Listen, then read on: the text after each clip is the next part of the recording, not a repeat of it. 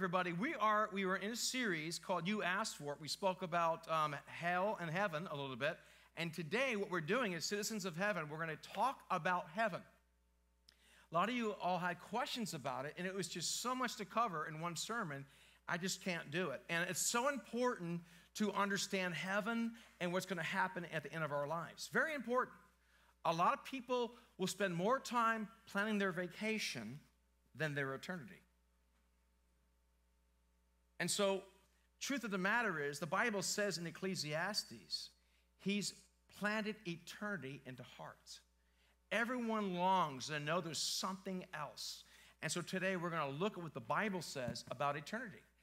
And I, how many of you ever heard someone say, well, he's so heavenly minded, he's no earthly good? Right? And what that usually means is that someone is just using religious jargon.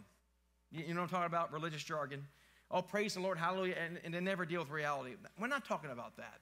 Truth of the matter is this those that are so those that are earthly minded are no earthly good either. You see, truly, those that are heavenly minded are the most earthly good because they are going for a goal that is bigger and greater than the earth, and they shoot higher than the earth and make more of an impact because they understand that our time here on the earth is limited. So today we're going to talk about that. Today we're talking about a little bit of heaven and about judgment. Aren't you glad you came to church today? Uh, I would, I would be, I'd be doing malpractice as a, a person who preaches the word of God without telling you the whole story truth of the matter is that God loves us so much. And hell is not something God has designed us to be for and go towards. It's not His design.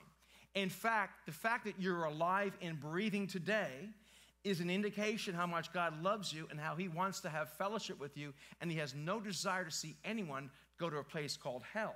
And that's why God sent Himself, Jesus. He sent Jesus to pay for our sins. Because all of us have fallen short of God's standards. There's not one that's righteous, no, not one. And Jesus loves us so much that he came to earth to take our place on the cross so we could be with God forevermore. You see, if it didn't matter, God would have sent somebody else. He did not come to give you the American dream. He did not come to make your dog stop barking or your cat stop meowing or your kids to behave. He did not come to make you happy, He came to save you. Why? God loves you so much. He really, really does. For God so loved the world. He loves you and He desires to know you. You've been created by God for God, and until you give your life to God, you're going to hurt yourself and other people. You see, our design has always been for God.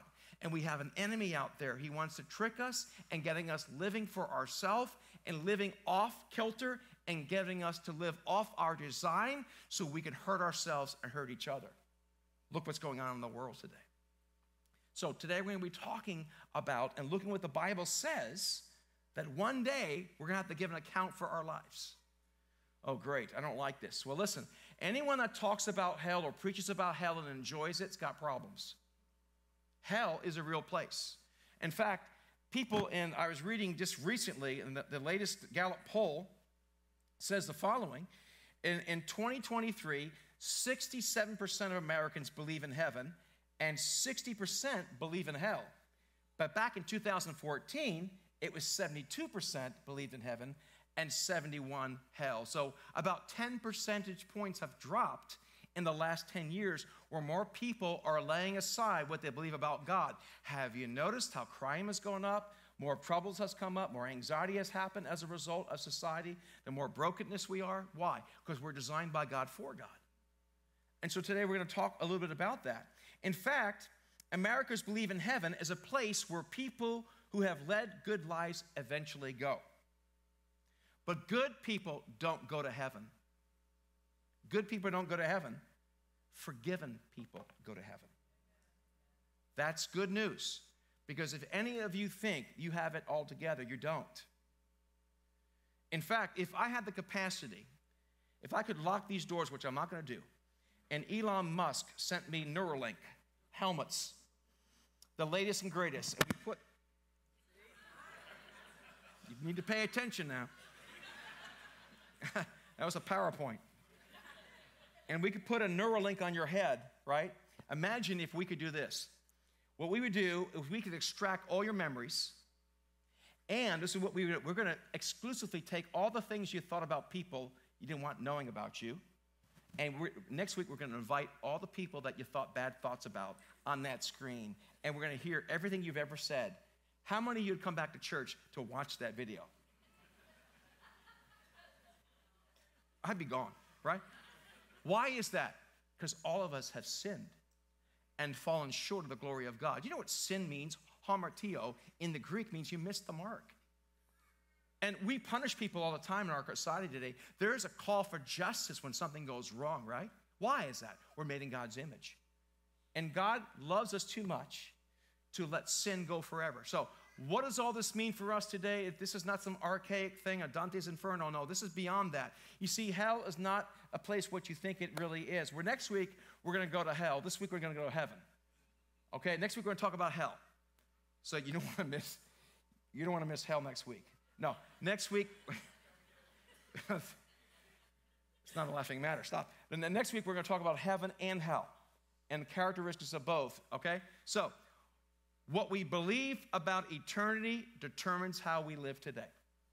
What we believe about eternity determines how we live today. If we don't think about eternity, then whatever you think about, whatever you put your eyes upon, you will drive towards. So if you're driving towards this earth, if you're driving towards success, if you're driving towards various things, you'll drive there. So whatever you're thinking about, you will drive towards. So what are we occupying our thoughts and minds with today?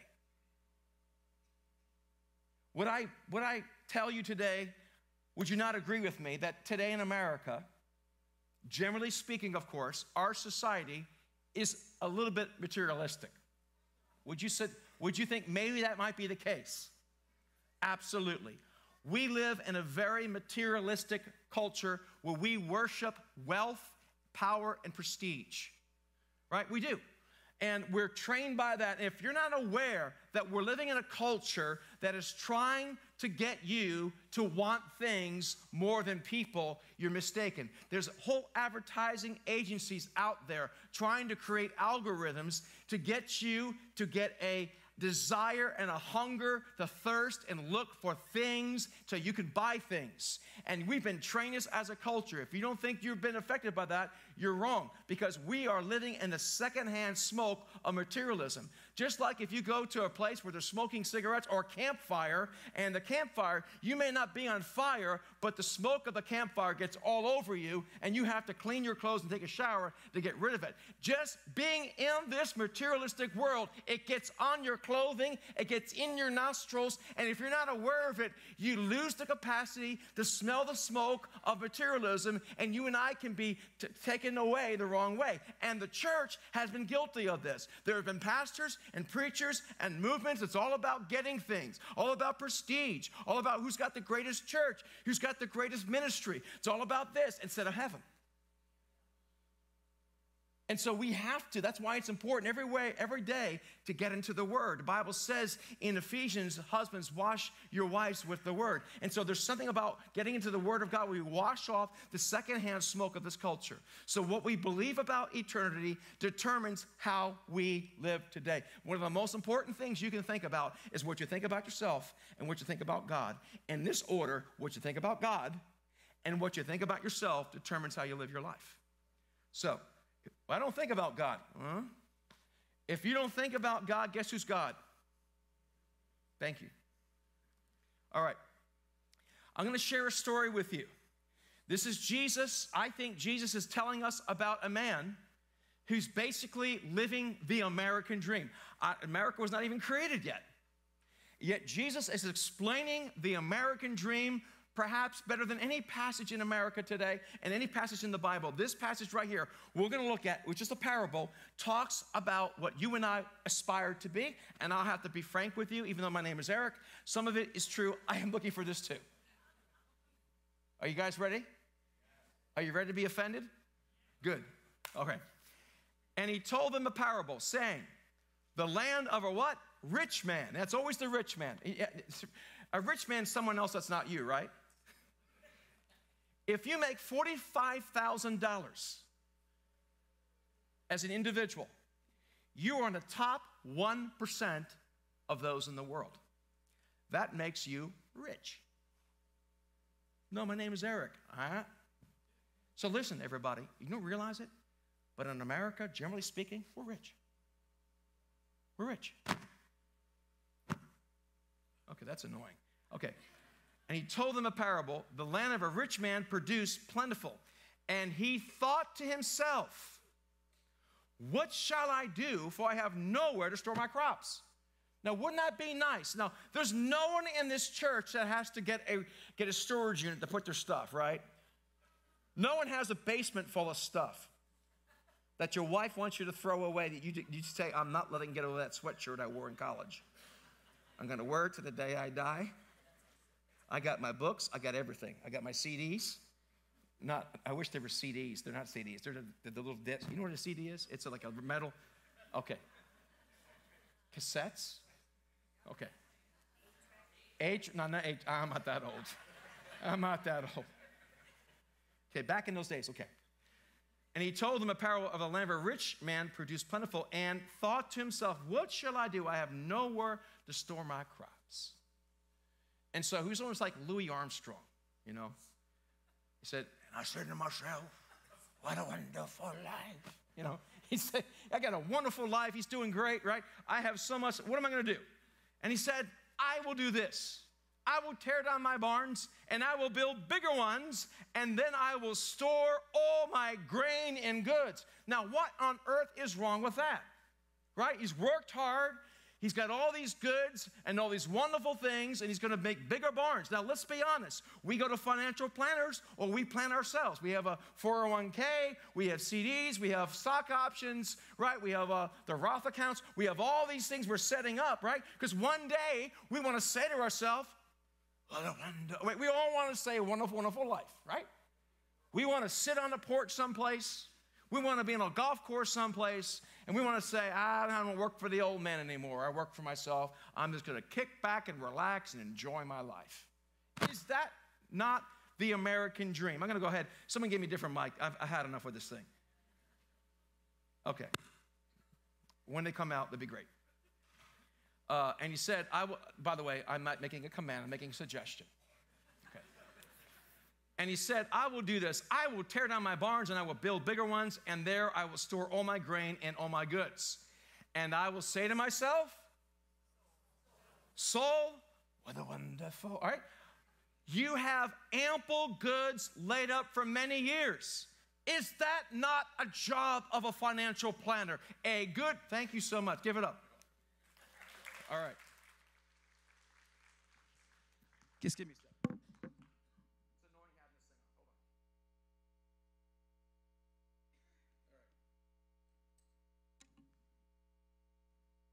I'm not undressing, don't worry.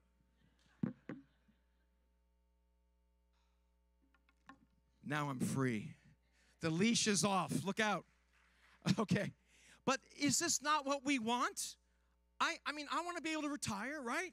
I want to be able not to worry about things anymore and be able to, for the rest of my life, I have enough money in my account. I can live, I, I have a, it takes about $3 million, they say these days, to really live comfortably uh, when you retire you know so I, i'm going to go ahead i'm going to say i'm going to relax eat drink and be married this is not what we want to do is it bad to have those desires is it bad to have the American dream? Is it bad to retire? Is it bad to be on the golf course? Is it bad to go on cruises? Is it bad to travel around the country and enjoy yourself in an RV with a with a uh, with your spouse or something? Is that a bad thing? Why is Jesus picking on this guy? Well, hang on. But God said to him, What? Fool. This night your soul is required of you, and the things you have prepared, those will they where will they excuse me, and the things which you have prepared, whose will they be? The government. So this is the one who what? Lays up treasures for himself and is not rich towards God. Okay, the problem here is not the fact the Bible says a wise man leaves an inheritance for his children's children. So we're not talking about not investing. That's not what we're talking about. Where is this man's heart? This man is not really interested in the kingdom of heaven. He's interested in the kingdom of himself. And let's be honest, we are often interested in the kingdom of ourselves. It's all about retirement, as if that's all there is. My friends, retirement is nothing but a waiting room for death. There's more to life than just gathering things and dying.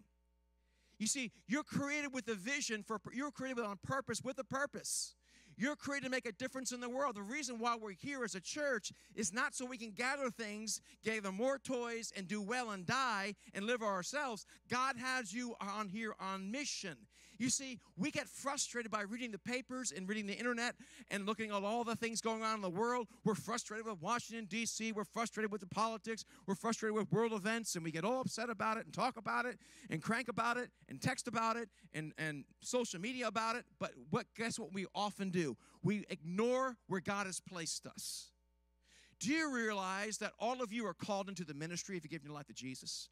That your parish, if you will, all of us have a responsibility. And if you want to see the world change, the best way we can um, change the world is is changing where God has placed you. The most authority, the most power, the most strength, and the most most impact that you have is where God's placed you. Includes your town, your family, your workplace, your church, and your community. We're so worried about Washington, D.C. and what's going on on the Gaza Strip. That's important, but we forget what's across the street. And so we get distracted by things that don't matter. God has a mission and purpose for us. It's not about you gathering things so you can have a lot of stuff and die happy. That's not why you're here. You're here on mission with a mission, and until you understand that, you can waste your life and get it to the end and have nothing to show for it. You see, everybody, the world changes one life at a time. If all of us would do our part, if all of us would just make a change where God has placed us and be the Jesus where He placed us, the world would change. The country would have revival. But we're too distracted by what's going on in other places, or we're too distracted trying to live the American dream and being in debt. You know, that said the average American makes about 80,000 uh, the government for excuse me this was a couple of years ago but if you want to um, give an illustration about how our country is living. Imagine someone making $80,000 a year but their expenses are $140,000 a year. How long is that going to last? Well that's what America used to be like. I don't know what it is now. We keep trying more and more debt. We're spending more than we take in as a culture. Why? Because we want materialism. We do. We have to understand what God says here. He said to the man, You fool. Why? Those who lays up treasures for himself and is not rich towards God. Now, what does this have to do with heaven and hell? Well, he says, Your soul's required of you.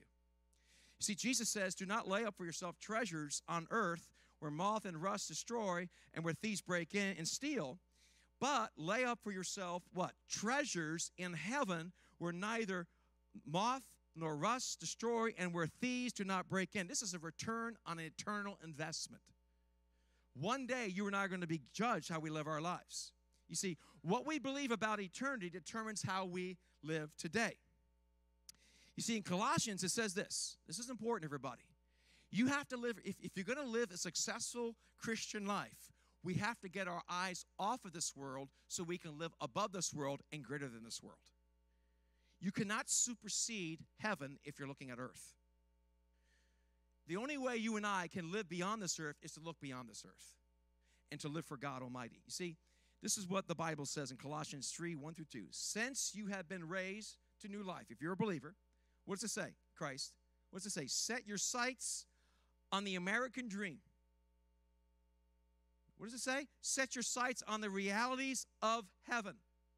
Do you realize that this earth is a vapor? It is a blink of an eye. It, mean, it actually, the, even the word blink of an eye is actually not a good translation. It's actually when light goes into your eye you, and it registers in your brain. That's how quick this life is. This life is quick.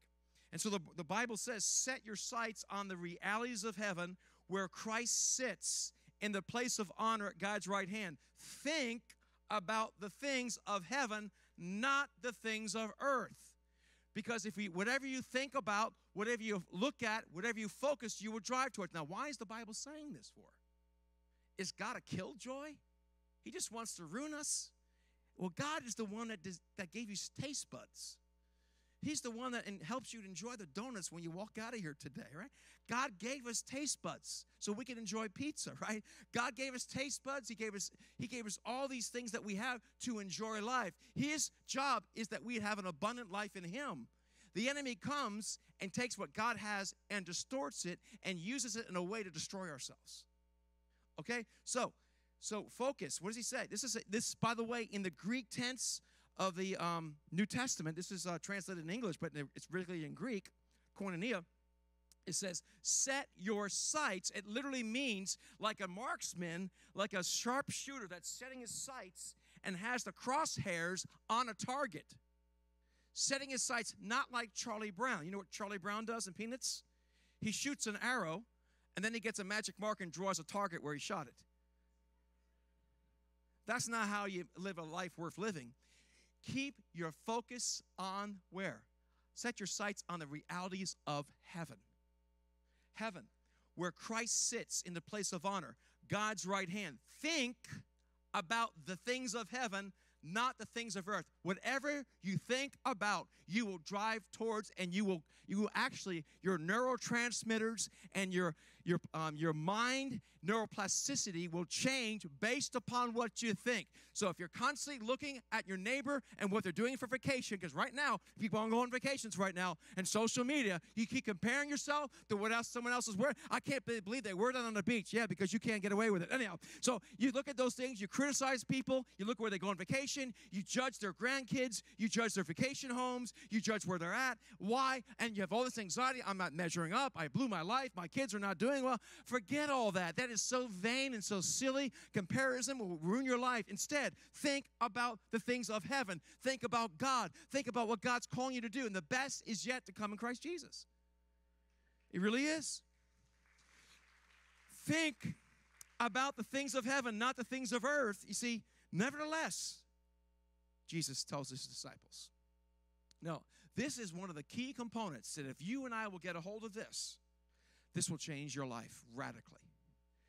What I'm about ready to share right now will can absolutely change your life. I'm not just saying it to get your attention. Because Jesus said it. Jesus was there for three and a half years. He had disciples. He trained these 70 people. He changed his, he trained his disciples by what did he do? He did the work of the ministry. He trained them. They were with Jesus. So, okay, guys, this is what it is. Now, I want you to go do what I just did. So he gave them authority and he sent them out. So they went out on their one of the first things they did. And they went out and they preached about the kingdom of heaven. They cast out demons. People gave their lives to God. It was amazing. People were healed. Uh, demons were cast out, and they were doing the stuff that Jesus could do. And they came back ecstatic. They were having a party. Okay, they were having a good time. They're, they're rejoicing. And Jesus also is happy too. He says, Praise God, I saw Satan fall like lightning, and nothing shall be able to overtake you. So they're all rejoicing about the, the success they had in the ministry. Is that not a good thing? Of course it is, right? But this is what he says. Pay attention to this. Nevertheless, do not rejoice in this, that the spirits are subject to you, but Rejoice that your names are written in heaven. In other words, guys, I understand things are going well. But don't base your happiness on happenstance.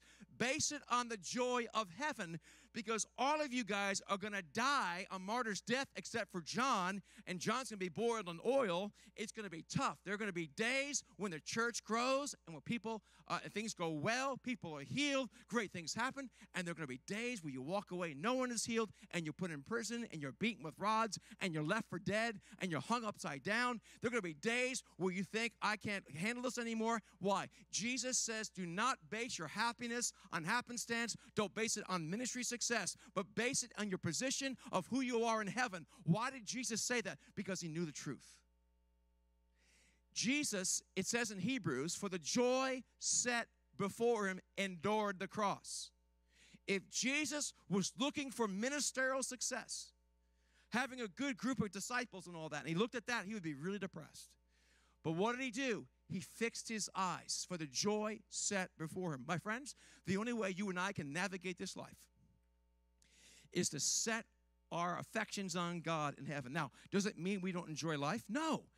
Basically, it's this. If you, for example, if I base all my success on how good the church is doing, oh boy, sometimes it goes well and sometimes it doesn't go well, right? So if I base it upon, no, no, my foundation is built in my on who I am in Christ. I am a child of God and I am guaranteed to be with God in heaven. I'm going to be with God forevermore. That's the joy of my salvation. No matter how bad it gets, the best is always ahead for those in Christ Jesus. The best is always ahead for those in Christ Jesus. I have a future. I have a hope, unmovable, unshakable. Now that's the foundation. Now I can enjoy ministerial success. I can enjoy my kids doing well. And now on the foundation of heaven, I now enjoy my success here on earth in its proper context.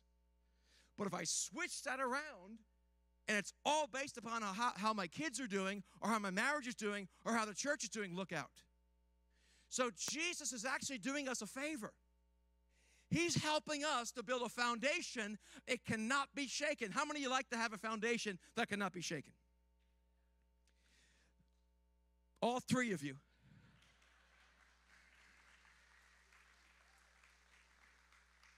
I'm not rejoicing at your clap. I'm rejoicing my name is written in the Lamb's Book of Life because I rejoice at clapping. I'm going to be very depressed. So, nevertheless, do not rejoice in this, but that in the spiritual subject to you, but rejoice that your names are written in heaven. I cannot emphasize enough how important it is that you and I will have the joy of our salvation. We need to understand about heaven. The problem is, a lot of us are uneducated about heaven. We don't even know what heaven's about. That's why next week I'm going to talk about heaven and a little bit about hell so you can actually look forward to things. There are good things coming, everybody. Good things are coming. I mean, really good things are coming. And so I have a little illustration I want to give you, but I can't because the next service is coming. One day, we will stand before God alone and face judgment. One day, we will stand before God and face judgment. Your father's not there, your mother's not there, your brother's not there, your pastor's not there, your favorite author's not there. It's going to be you and God alone to give an account about your life. How many are happy about that one? I'm not very happy about that without Jesus. I'm, I'm cooked. I'm done. We gave the illustration of the Neuralink helmet and seeing all that you have in your mind, right? Okay, so one day we'll stand before God. Now, this is what we talked about last week. When you die, three things happen your body returns to the dust, your spirit returns to God, who gave it, if you're a believer. Spirit goes to either paradise or Hades until the last judgment. So we're going to go to a place, so there's different states of heaven uh, paradise is this is the good news. When we die, we're with Jesus. Let me give you a little illustration here, okay? Now, what I've done here is pretty impressive. I know it's amazing. It's a I'm a graphic artist. I didn't realize it, but what I have in yellow are non-negotiables. The Bible is explicitly clear on these things. Okay, this is the things that really matter. The other parts of the end times are, are, are still important, but they don't matter as much as these because this is this is what Jesus talks about. Not for you to know the times of the epochs the Father has has set before him, but this is what you ought to do: preach the gospel.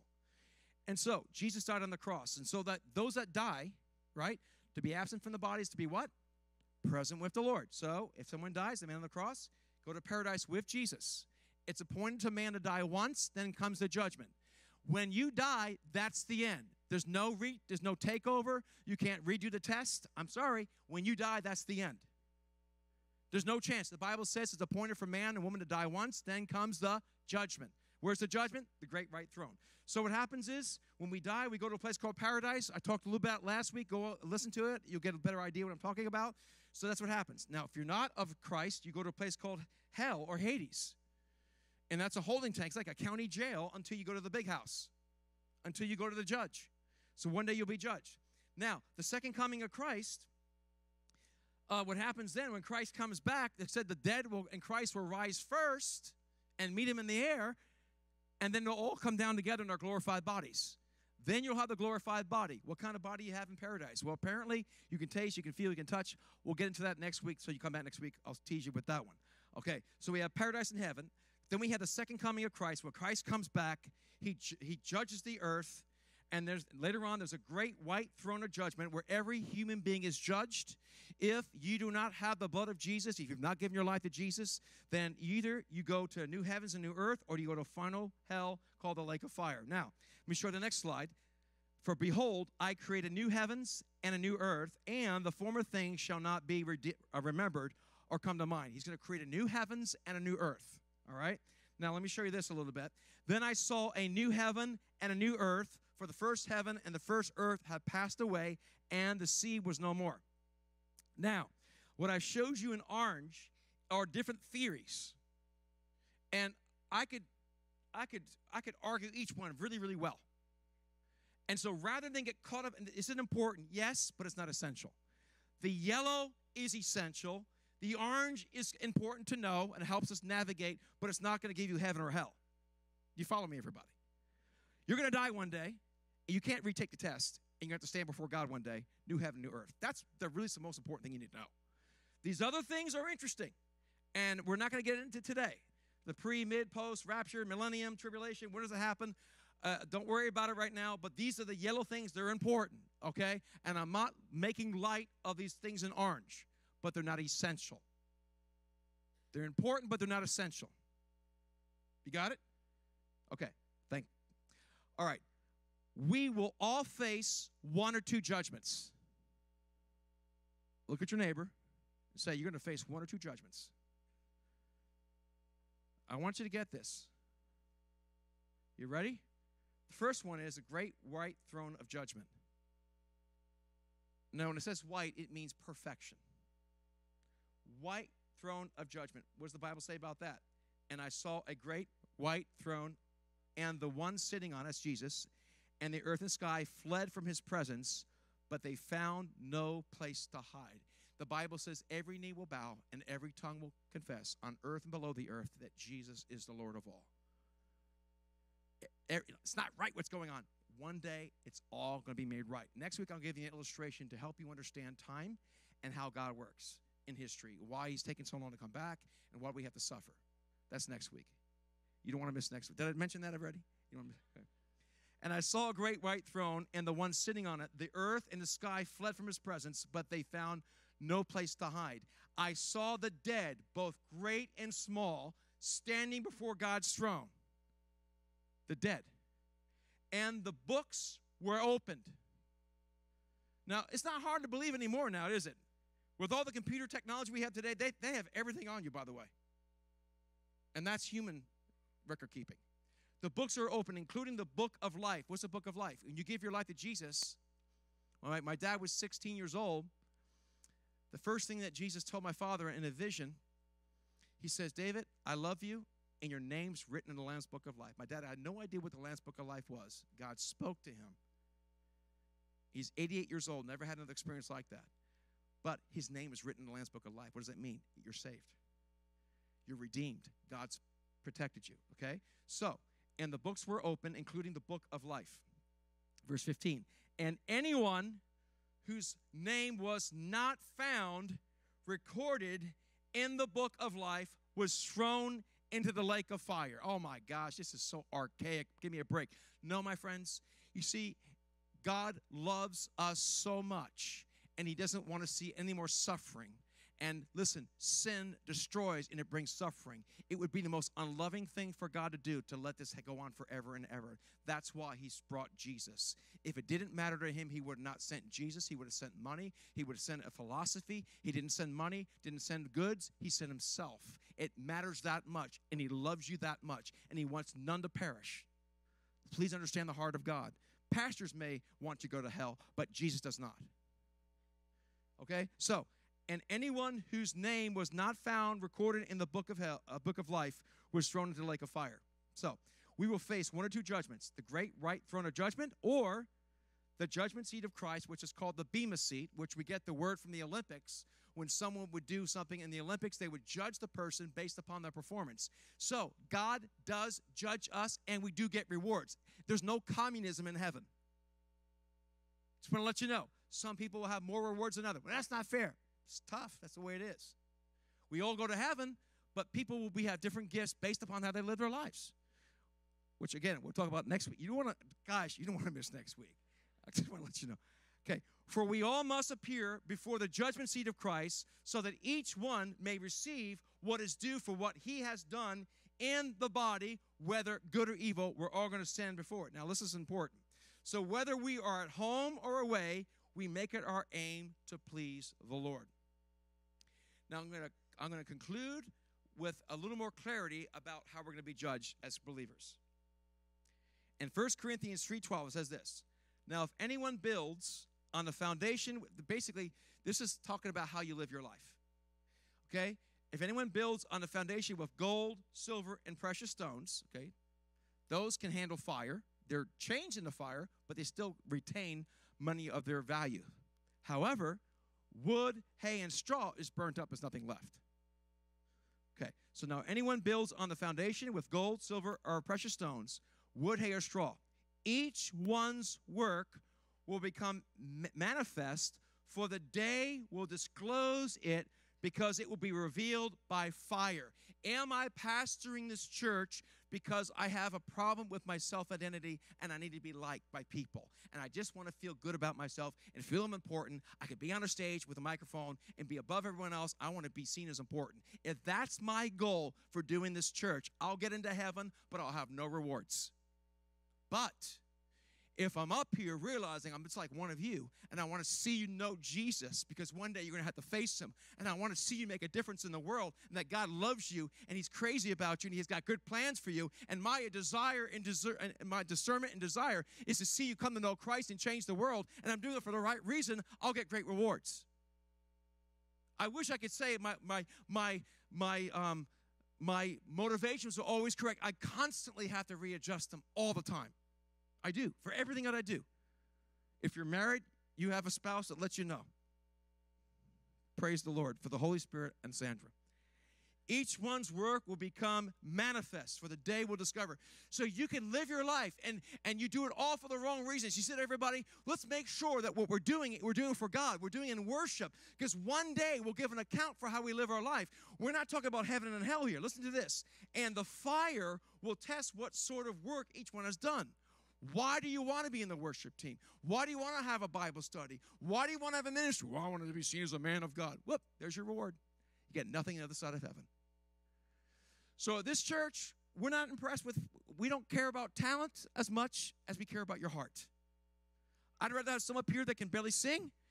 Well, not really, but now, I'd seriously, I'd rather have somebody that is not as gifted and has a heart for God than someone that's amazing. I've been to some places where the worship team was off the charts. I mean, the singers were amazing. The instrumentals were fine. Like, yeah, it was great performance, but there was no no worship. Then I went to a youth worship night with 14 year olds that could barely play three chords, and the fire of God fell because the hearts were in the right place.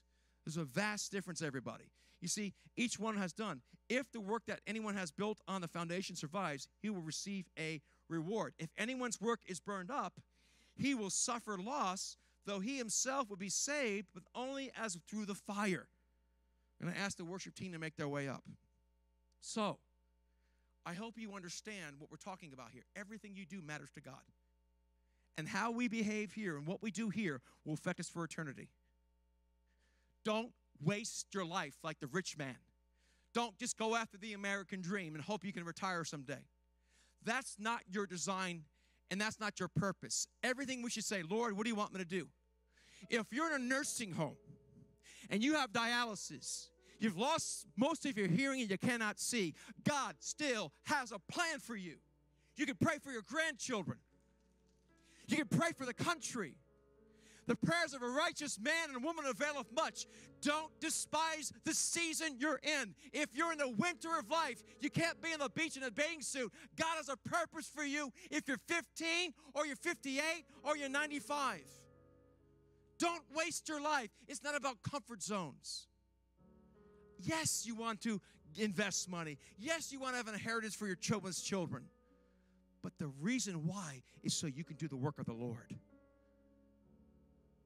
I'm so proud of my mom and dad. My mom's in heaven looking down, I believe, at different times. And my father tries to retire, but he can't. Dad, he said to retire like five times. I said, Dad, what are you doing? He said, Eric, I got so much love. All the love I used to give your mother, I don't have anyone to give to, so I'm pouring it on people. He's counseling people that are suicidal. He's doing funerals. He's visiting people in nursing homes, and he can barely walk himself. He says, I want to go out for God in a flame. I don't just want to sit on a porch someplace.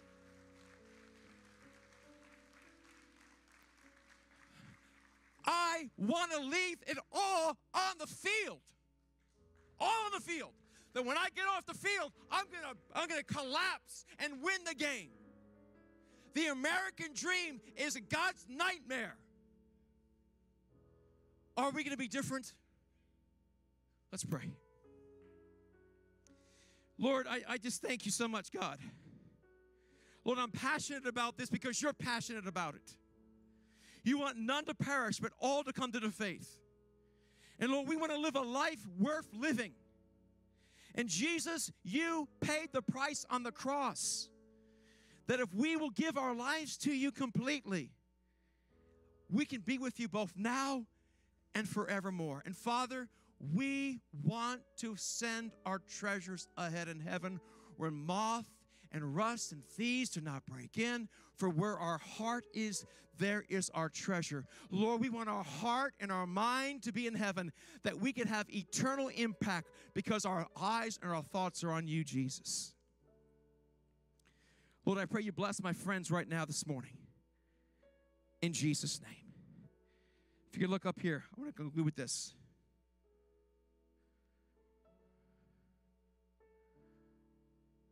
Don't you realize that in a race, everyone runs, but only one person wins?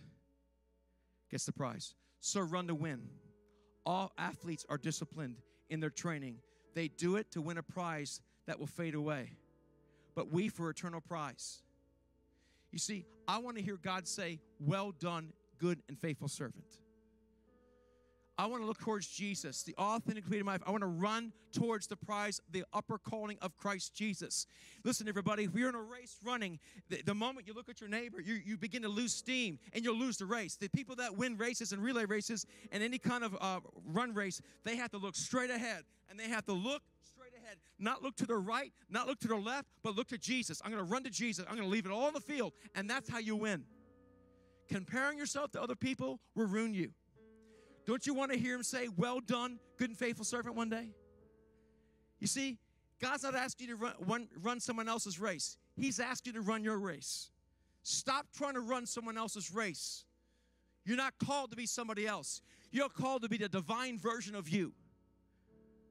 And you matter no matter how big, no matter how small, no matter how great, no matter how tall or small, it doesn't make a difference. You do what God's called you to do. Stop looking at your neighbor and comparing yourself. It's the devil's trap. Don't do it. Celebrate your friend's success, but keep your eyes on Jesus. Amen? Amen.